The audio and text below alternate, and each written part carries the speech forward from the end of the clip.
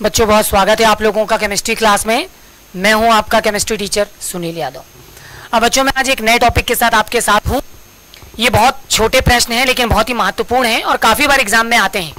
और बच्चों competitive exam की दृष्टि से ये छोटे प्रश्न बहुत ही महत्वपूर्ण है, लेकिन उससे कहीं ज़्यादा ये आपके एग्ज़ाम की दृष्टि से भी बहुत ही महत्वपूर्ण है, कक्षा ग्यारहवीं की दृष्टि से भी महत्वपूर्ण है। बच्चों, मैंने कुछ टॉपिक्स लिए हुए हैं, आपके सामने मैं टॉपिक एक बार रिकॉल कर देता हूँ। जैसे कि मैं आपको आज बताने वाला हूँ, समस्थानिक समभारिक सम न्यूट्रॉनिक और सम इलेक्ट्रॉनिक बच्चों एक एक करके सारे टॉपिक पर हम चर्चा करेंगे। मैं सबसे पहले आपके साथ टॉपिक लेता हूँ, समस्थानिक। बच्चों, हम समझने की कोशिश करेंगे समस्थानिक क्या होते हैं। एक ही तत्व के दो या दो से अधिक। ऐसे परमाणु जिनके परमाणु क्रमांक एक समान। किंतु परमाणु भार भिन्न भिन्न हो, भिन्न भिन्न हो, क्या कहलाएँगे बच्चों को समस्थानिक कहलाएँगे। ठीक? उदाहरण के तौर पर देखिए, कुछ समस्थानिकों के। सबसे पहला उदाहरण, बच्चों हाइड्रोजन के तीन समस्थानिक हैं। हाइड्रोजन के तीन समस्थानिक हैं। बच्चों, इसमें सबसे पहला है H one one H one two और एच वन थ्री मैंने आपको बताया बच्चों, एक ही तत्व के भिन्न भिन्न परमाणु, है ना? एक ही तत्व के। तो हाइड्रोजन एक ही तत्व है, उसके भिन्न भिन्न परमाणु में hydrogen H one one H one two H one three जिनके परमाणु क्रमांक आप देख सकते हैं कैसे बच्चों? समान है। लेकिन परमाणु भारों में पर्याप्त भिन्नता है, इसलिए ये समस्थानिक कहलाएँगे। बच्चों हाइड्रोजन का जो पहला समस्थानिक इसका नाम है प्रोटियम दूसरे का नाम है ड्यूटेरियम और तीसरे का नाम है ट्राइटियम बच्चों, ये जो हाइड्रोजन का तीसरा समस्थानिक है ट्राइटियम ये एक रेडियो समस्थानिक भी है है ना? ये रेडियो धर्मी है। यानी ये स्वतः ही अपने में से अल्फ़ा, बीटा और गामा किरणों का क्या कर सकता है? उत्सर्जन भी कर सकता है। बच्चों, इसी तरह से दूसरा एग्ज़ाम्पल भी आपके सामने रखता हूँ। ऑक्सीजन के, बच्चों, ऑक्सीजन के भी तीन समस्थानिक हैं।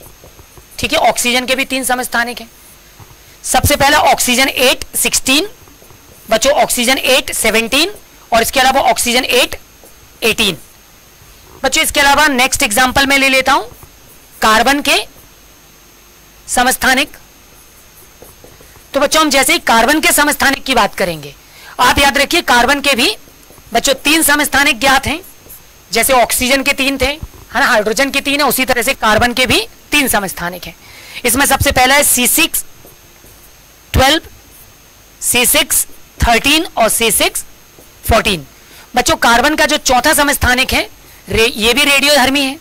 ठीक है, ये भी एक तरह का रेडियो धर्मी समस्थानिक है बच्चों, इसके अलावा एक महत्वपूर्ण एग्ज़ाम्पल और भी आपके साथ डिस्कस कर लेता हूँ। चौथा एग्ज़ाम्पल है वो हमारा, और वो है क्लोरीन के समस्थानिक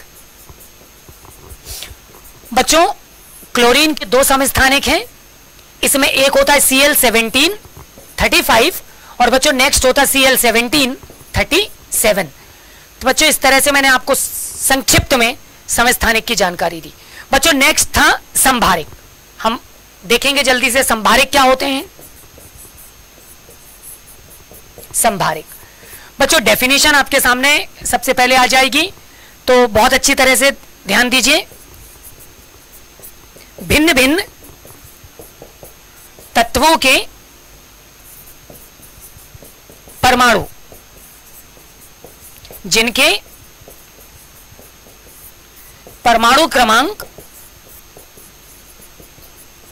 भिन्न भिन्न हो। किंतु परमाणु भार में क्या हो बच्चों? समानता हो। तो बच्चों, बहुत अच्छी तरह से समझिए, भिन्न भिन्न तत्व के परमाणु, जिनके परमाणु क्रमांक में भिन्नता होगी, लेकिन उनके परमाणु भार में क्या होगी? समानता होगी। आप उनको क्या बोलेंगे? संभारिक।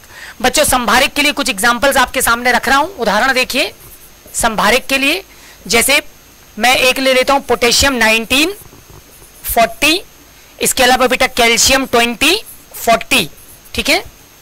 तो बच्चों, यहाँ पर आप देख सकते हैं कि इनके परमाणु क्रमांकों में पर्याप्त भिन्नता है। लेकिन जबकि परमाणु भारों में आप देख सकते हैं, क्या है? समानता है। तो ये एक दूसरे के सापेक्ष संभारिक कहलाएँगे।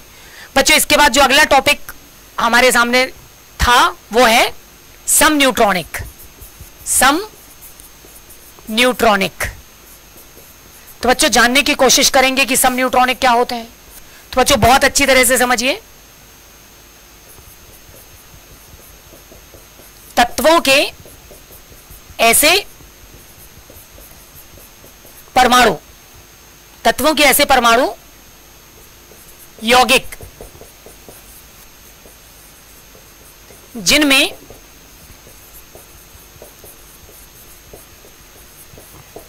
इलेक्ट्रॉनों की सॉरी बच्चों थोड़ा सा ध्यान दीजिएगा, जिनमें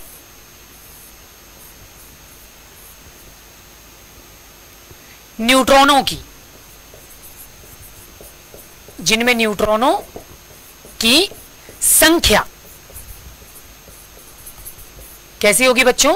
एक समान। जिनमें न्यूट्रॉनों की संख्या एक समान हो या होगी, ठीक है, या होती है, आप कह दें। तो उनको आप क्या बोलेंगे? सम न्यूट्रॉनिक बच्चों, इसके अलावा जो नेक्स्ट स्टेटमेंट था सम इलेक्ट्रॉनिक तो जल्दी से सम इलेक्ट्रॉनिक बता देता हूँ। सम इलेक्ट्रॉनिक बच्चों, ध्यान दीजिए। दो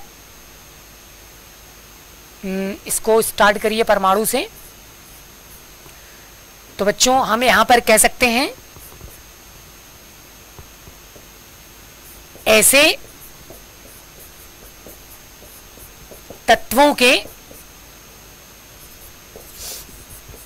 परमाणु, अणु, यौगिक,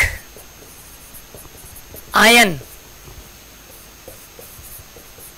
जिनमें